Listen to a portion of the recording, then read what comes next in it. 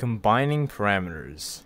This is useful when we want to take two parameters and combine them into one, both saving space and can be efficient. This is especially useful if we have lip tracking because our parameter list can fill up pretty fast. So, today I'll show you how to combine some parameters together. And in this example, I'll be doing combining smile and sad and the mouth upper left and right together, which will save us some memory. Now, first thing we want to do is we want to find the parameters we want to combine. You want to go to the lip tracking GitHub. And all you gotta do is click the link. I'll leave this again in the bio, in the description of the video and scroll down until you see combine lip parameters. Now I know what I want to combine already, but here is just a list. If you scroll down, here is the list of all the combined parameters we can have. There's a lot. So I'm just going to be combining two today. I'll be taking smile sad right and mouth upper right here. Those are two that I will be using today. Back in our project, what we're going to do is delete our old parameters. Add a new parameter. This one is going to be a float and hit uncheck save and just paste in the name just like that I'm also going to do the same for these so I'm just going to add another one. Go back to the site. Mouth upper. And just paste it in.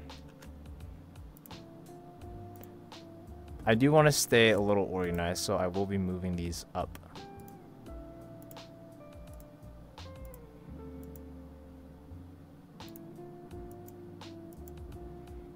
There we go. Now that we have our parameters in, we can work on our FX layer. So go to your FX layer.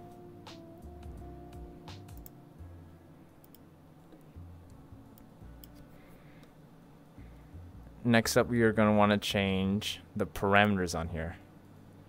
So delete the old ones.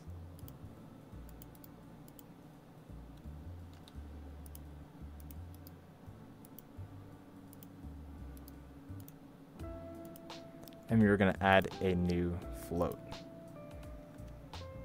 And just paste in the names again.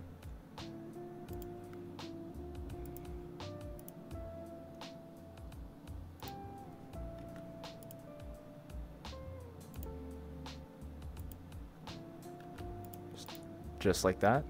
Next we move on to our layers. I'm going to delete one of them. One of my my layers right here and just rename the other one. Here's our upper lip. Just so we know what it is, I'm just going to rename it.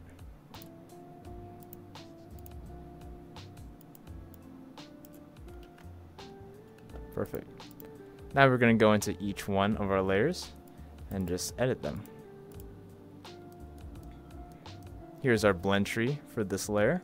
Double click and we are going to make a new blend tree. So just delete the old one. Right click, create state from new blend tree. Double click. Now this is mouth upper. So we're going to need two values here. Three, my bad. We're going to add a idle animation. This just has nothing in it. We're going to hit this, automate thresholds. We're going to animate ourselves. Set these to zero. Next, we're going to have our upper lip left. Upper lip left for our. And upper lip right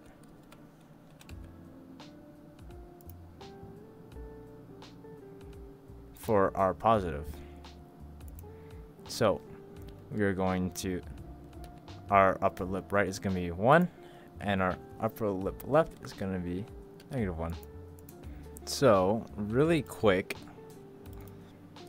before you guys continue on with the video, I forgot to mention, change the parameter here. Alright. Mouth upper, and for the smile sad right, smile sad right parameter. Make sure to put that in there. Cool. So now what you want to do is when game, it's going to do this between both. So that saves two parameters right there. Next, we're going to do the same for smile sad right. Head over here. We're going to delete the old blend tree. Create state from new blend tree. Double click. Add three motions. Gonna add a idle animation uncheck automate thresholds. Set this to zero. S sad is going to be our negative value.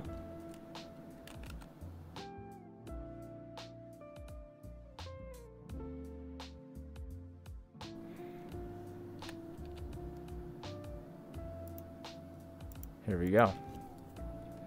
And then change the sad to negative one.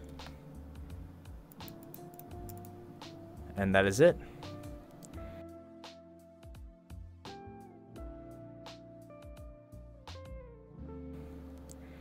Next, you are going to want to actually animate these to your avatar. This is the universal face tracking template.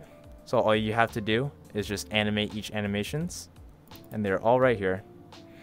I will be updating this. By the time this video comes out, all this package will be updated. And I'm going to add more parameters to the parameter list. And that's basically how you combine parameters. Thank you very much.